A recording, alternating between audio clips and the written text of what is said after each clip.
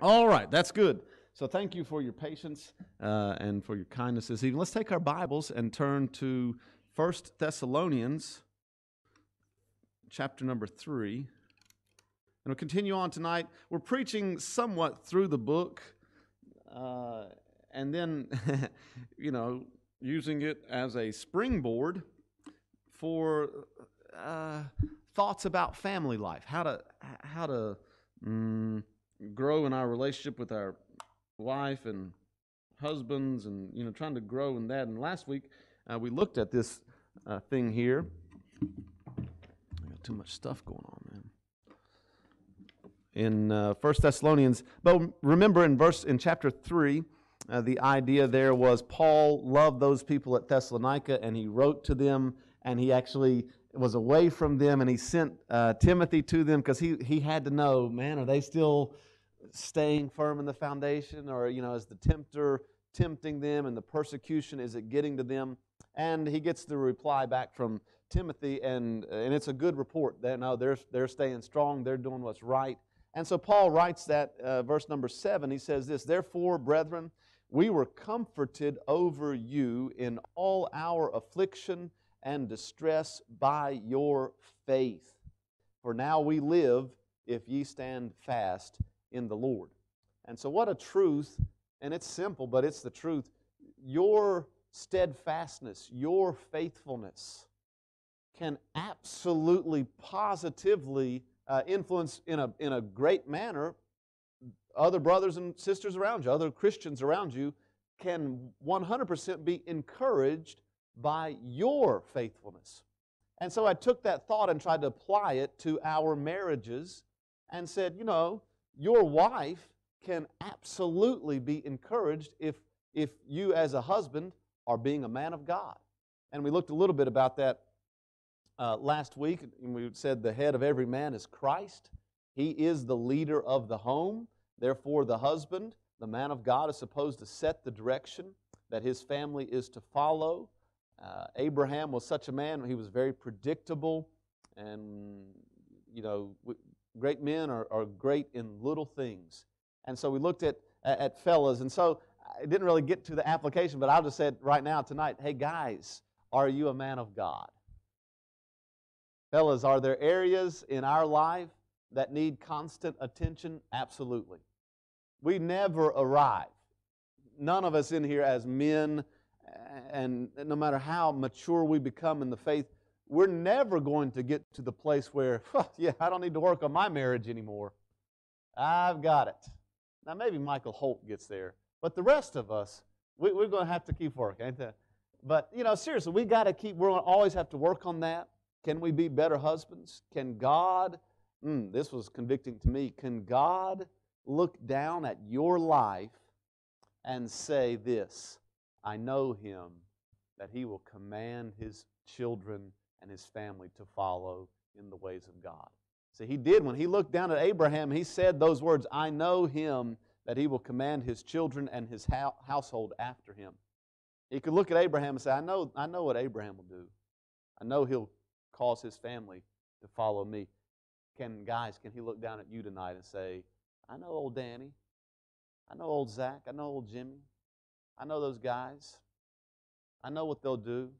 Pray that God could look at our lives and say, No, I know, I know He'll He'll command His family. So I want to encourage men, be men of God. And then we'll land tonight on the other side of the relationship where the, the, the wives. And the truth is this a wife needs to be a woman of God. I mean, be a woman of God. Just like the husband if he will do what's right and serve God and let Christ be the head and let him follow his leadership, that will be such an encouragement uh, to your wife. If the wife will be a woman of God, that will encourage her husband uh, tremendously. And so, uh, what, what, does it look like to be a woman of God? Well, uh, look briefly over there at 1 Peter chapter number 3. 1 Peter chapter number 3. 1 Peter chapter number 3, and the Bible says this Likewise, ye wives, be in subjection to your own husbands, that if any obey not the word, they also may without the word be won by the conversation of the wives. What he's saying there is this uh, You wives, please submit yourselves to your husbands. And really, the context here, he says if you've got a, a wife who has an unbelieving husband, uh, without the Word of God, by a wife's testimony and by a wife's kindness and sweetness and joyfulness and subjecting herself to her husband, that can win him to Christ by being like that. Verse number two, while they behold your chaste conversation coupled with fear, whose adorning, let it not be that outward adorning of plaiting the hair and of wearing of gold or of putting on of apparel, but let it be the hidden man of the heart in that which is not corruptible, even the ornament of a meek and quiet spirit, which is in the sight of God of great price. For after this manner, in the old time, the holy women also, who trusted in God, adorned themselves, being in subjection unto their own husbands, even as Sarah obeyed Abraham, calling him Lord, whose daughters ye are, as long as you do well and are not afraid with any amazement. And so, right there, he makes a, a really a contrast. He says, it's not about the hair, the hairdo, and it's not about the jewelry, and it's not about the clothes you're wearing. Nothing wrong with those things, ladies. Amen. I did read where the Romans used to do their hair, the ladies would do their hair, and it took forever to do it, and they actually would stay up all night. They wouldn't even go to bed because they thought it'll mess up their hairdo. So they would stay up all night as they weaved that and they weaved gold into it and I mean, did all, all this stuff. Nothing wrong with fixing your hair, nothing wrong with wearing jewelry, nothing wrong uh, with having, uh, you know, dressing nicely. Amen on all those things. But the point is, that's not the real beauty. The real beauty is not these outside ornaments, it's the inside ornament. That ornament of a meek and quiet spirit, which is in the sight of God of great price. I'll be honest with you. Um, there's just not a lot of that in the world anymore. There's just, there's just, I don't know, I may be coming from the Western culture and the American culture, but the idea of a woman living unapologetically in subjection to her husband is, you just don't find that much. It's just not a, it's not a thing. That word subjection says there in verse number one, likewise, you wives, be in subjection to your own husband. Subjection, uh, it was a, actually, this will fit for our military church, it was a basic sense, had a military relationship in which someone is under a commander. However, in its non military sense, and this is what it would apply to, it means a voluntary attitude of giving in a voluntary attitude of cooperating, a voluntary attitude of assuming responsibility and carrying a burden. In other words, a righteous wife is to voluntarily give in to her husband, not only in deed, but also in spirit. Um, one writer said, a major, and I think this is so true, a major portion of marriage trouble stems from wives being unwilling to subordinate themselves to the leadership of their husbands. Now, uh, what we're preaching tonight and what the Bible says is the exact opposite of what, uh, especially Western and American culture teaches. If you grew up there, and as most of us did, what is, without question, put in your face, if you were a young girl growing up in, in America, is you girl power. You all, it's all about you. Don't let them tell you. You make sure you are loud. You make sure they know who you are. That's the message. I mean, that's the message you get from all uh, Hollywood, all music, all, you know, all of that is sitcoms. It's you establish yourself as in charge, large and in charge, loud. Let them know where you are. And sadly, Sadly, this is a part, I think, of modern Christianity. In the modern Christian movements, you know what you have? You have women asserting themselves as you, that husband better thank God for you. You better let him know he's got something good. I'm serious. And when we look at the scriptures, the Bible says that's not at all what it's supposed to be. In fact, it's supposed to be quite the opposite. It, what's in the sight of God, what's of great price is a meek and quiet spirit. That's what God um, can, uh, says is, is, what's of great price. Uh, it's weird how much the culture is so attacking this point. If you stop and think about it. And I think it goes back to God established marriage. I heard a good message and a good thought recently.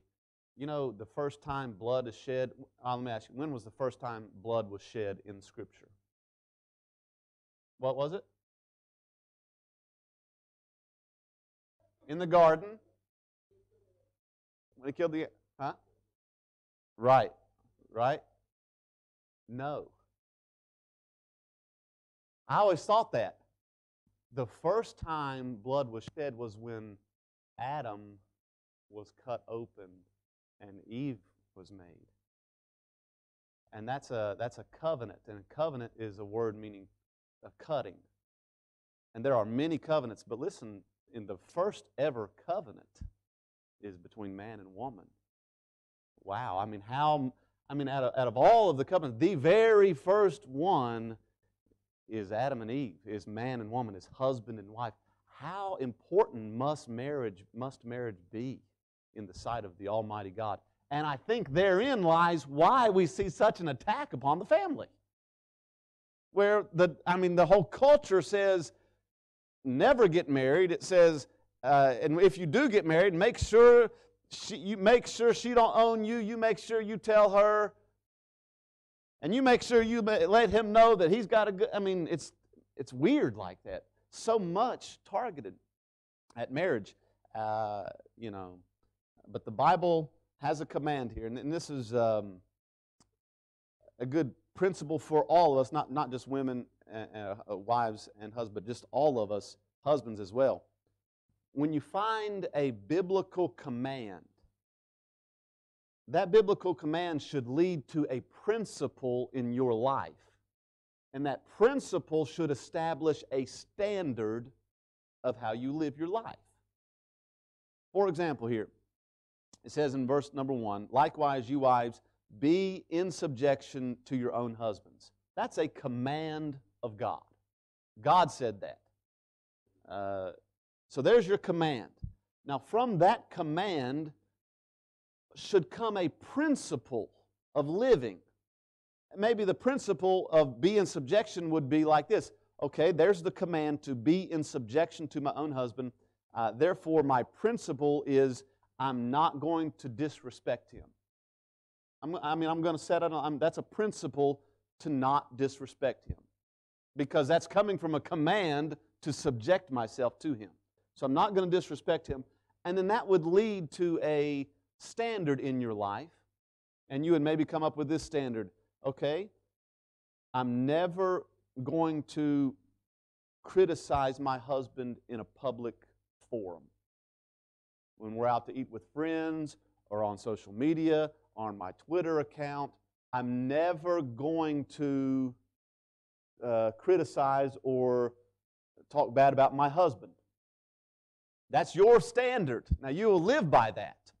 But that's a standard that's based on a biblical principle. And that biblical principle is based upon a very plain command.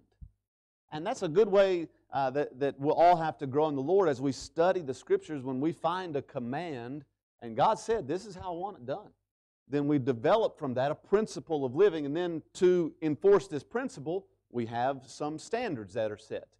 Um, you know, it, they're all kind. Be ye holy, for I am holy. That's a command. that's not to wives or to husbands, that's to all of us. God wants us to be holy. So then there should be a principle out of that that should say something like, I need to live my life uh, in a way that pleases God. So my standard might be I will never watch R rated movies or whatever. You know what I'm saying? I mean, there's your, because I know that's not going to help me be holy. I, I know if I, if I all the time listen to a particular type of music, I realize that's not going to help me be holy.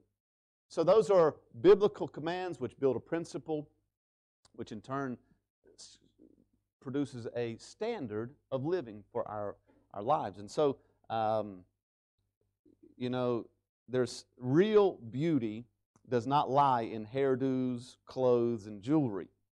Uh, the most beautiful and expensive clothing for a lady is a meek and quiet spirit. There's something beautiful about a sweet spirit. It does not fade with age. It makes for a wonderful, lasting home and marriage relationship. Um, there's, and I'm just telling you, there's just not a lot of that that goes on today. I think of Mrs. Webster. She was that. Uh, she, she just was. I mean, whatever Pastor Webster said, she said, Yes, honey, how can I help you? Even if he was wrong. Even in cases where Pastor Webster was making a poor decision, she didn't come in and try to overrule him. She said, Yes, honey, let's, I'm with you.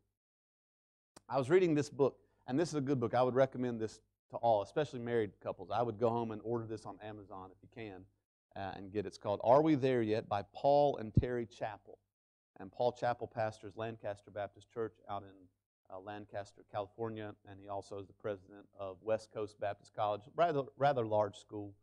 Um, and he's been in the ministry, I don't know, 30 years. He went out there to out in the middle of the desert, Lancaster, California. I think he had 12 people in his church, and today I think there's something close to like 5,000, uh, and it's out in the middle of the desert. But anyway, they wrote this book, and in the beginning, it's called "Are We There Yet?" And they wrote and said, "Listen, we didn't want to write this book until we were." Older in life. You know, they, they, we didn't write this book after the first year in the ministry. We waited 35 years before we wrote this book. And it's, it's, a, good, it's a good read. But I want to read to you something that uh, Terri Chappell, his wife, um, she said she gave five ways a wife can communicate respect to her husband. Number one, give genuine acceptance. Number two, support his decisions. Number three, be his recreational partner. Number four, pray for your husband's success. She said this If I spend my time in prayer for my husband, thinking about how he needs to improve, I will leave my place of prayer with a stronger desire to change him rather than to support him. Conversely, if I spend my time thanking God for his strengths and praying for his successes, I leave prayer with a heart to be a part of those answers. And number five, she said, praise him privately and publicly. In this, uh, she gives a great story support his decisions. She said they were in Bible college together, they were married in Bible college, and he's working a second shift job and he hates it. And one of his uh, friends is graduating, and his friend has a uh, uh window cleaning business and he tells Paul, he says, Paul, I'll sell you this business for $500 and you can make all kinds of money. And Paul Chappell went to his wife and said, Hey, I hate the job that I'm doing. We could make a lot of money on this thing, and let's spend $500 and I'll buy his business. And she said, Honey, I don't think that's wise. Uh, we don't know anything about running a business, number one. Number two, we kind of need the $500 to pay school bills. I don't think this is a good idea. But, she said, the window washing business won out. and so they spent the $500 and got a stack of three by five notebook uh, cards, no equipment included. He just got, he paid $500 and got a stack of three by five note cards of clients. So he begins to call every single one of them, and every single one of them says, Not interested.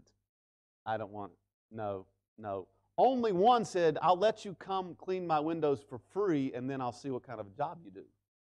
Well, he went and washed the windows for free and never heard from them again, you know.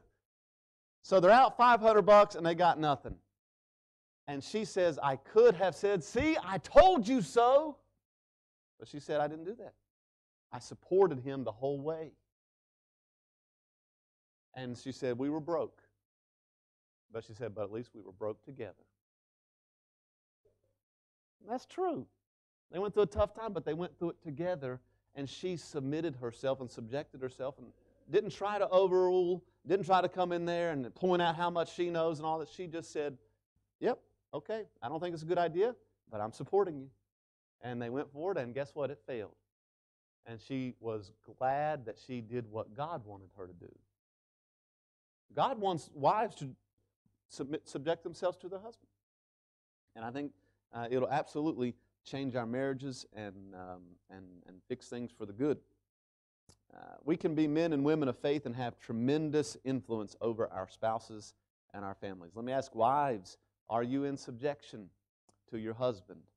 Are you known by a meek and quiet spirit? Uh, that, that's what pleases God. You know, when we were le- when we were in Texas, driving through Amarillo, Texas, on furlough, our van engine light came on, and immediately we pulled off, and I opened up the glove and I got out the owner's manual. I began to flip through that thing. I'm looking for how do I solve this light? What does this mean? Now, as I was looking for what that was, I was looking in the owner's manual. Not one time did I think probably the person who wrote this owner manual hates me